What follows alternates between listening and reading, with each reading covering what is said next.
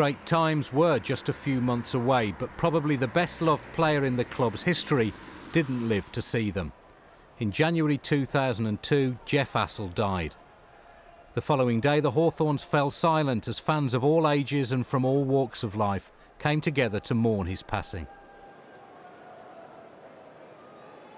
I was standing there and the tears were just dripping off me. And I, I hadn't seen it coming, you know. I felt better after. I was glad it happened, but it was very tough. That minute silence was a very tough thing. It was absolutely immaculate, and I do thank the Albion and the Walsall fans for that.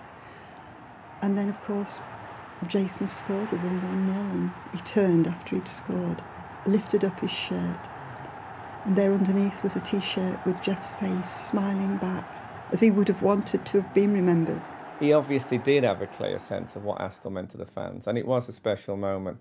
And I'll always love him for doing that. It was a, it was a brilliant thing.